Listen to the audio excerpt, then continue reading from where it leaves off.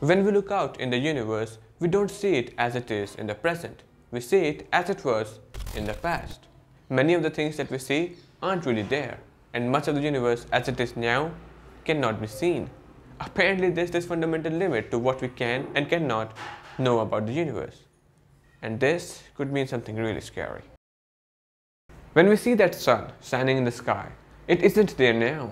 It was there 8 minutes ago because light that allows us to see things travels at a finite speed and so by the time it gets to us, some amount of time is prone to have passed.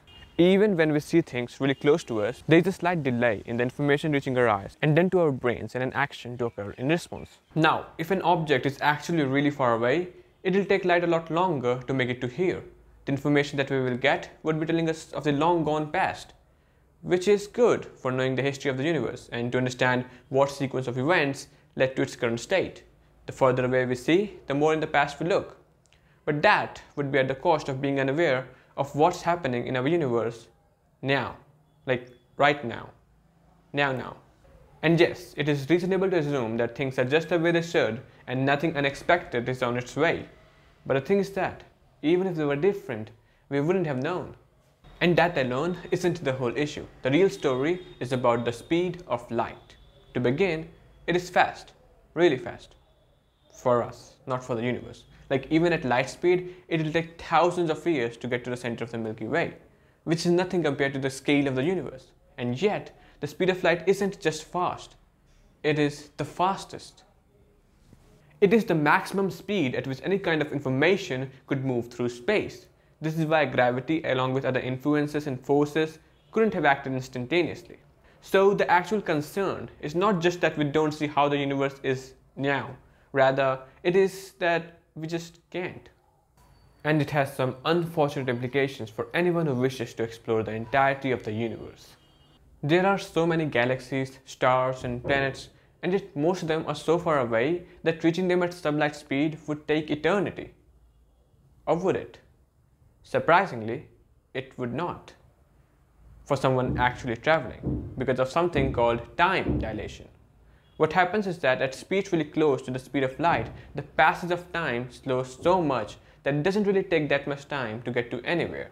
And so for someone actually traveling, wouldn't have to experience a lot of time, which is convenient but for all those left behind and in the outside world, a lot of time would have passed to which they would never be able to return. And that's frightening. Aliens are another really fascinating idea that has manifested in our imagination and curiosity. But with this speed limit in place, would it even be plausible for interstellar civilizations to make contact with each other? Obviously, there are theories as to whether or not aliens ever visited us. Some even say that aliens might have influenced our development. Pop culture is filled with such stories, but can it have a place beyond fiction? Seems unlikely. Really unlikely. Because, first of all, the universe is old and vast, and so even if multiple alien civilizations did emerge in the universe, it would take ages for their messages to get to the other. And even if we do receive some form of alien message, we wouldn't be able to show that they still exist since the message could have been sent a long time ago. And on top of that, when you add on the ideas of differences in technology and behavior, it is reasonable why we haven't yet met aliens. The search for exoplanets that might be able to hold life has been one of the most glorified explorations in cosmology because it could tell us about the likelihood of life elsewhere in the universe and that it could be a future home for us. But the idea that even if we tried for eternity, the universe just simply doesn't allow faster than light travel is mood breaking.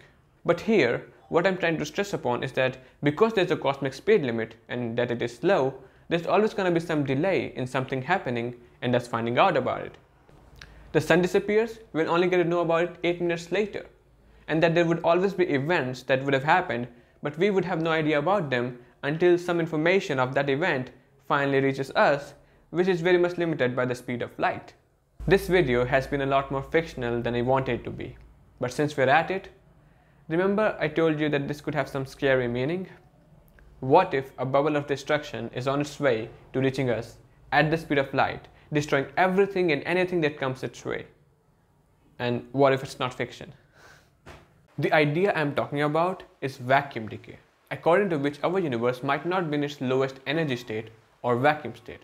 And so if a transition occurred Anywhere to that lower energy state, a bubble of this lower vacuum would be formed which will be expanding at the speed of light. Now our universe is also expanding. The further away an object is, the faster it is moving away from us. And so there comes a point beyond which there are regions of space that are moving away from us faster than the speed of light. And of course, it doesn't violate physics. But now, if vacuum decay occurred anywhere in those regions, we are pretty safe, since even at light speed, it would not be able to get to us. But if it occurred anywhere close enough, we are doomed, eventually. And since a lot of things depend upon the energy state, things definitely will not stay the same, and everything as we know it would cease to exist. And before you start feeling concerned, it's probably not gonna happen. Not anytime near enough to be worried about.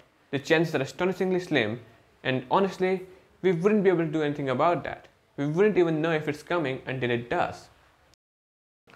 Unless we could somehow get to a way for faster than light travel, which would be remarkable. It is probably not going to happen anytime soon. However, if and when we do manage to achieve this, the possibilities would truly become endless, just like the universe. But that deserves its own episode. And just to lighten a bit, we've got global warming to fight before all of this. Thanks for watching.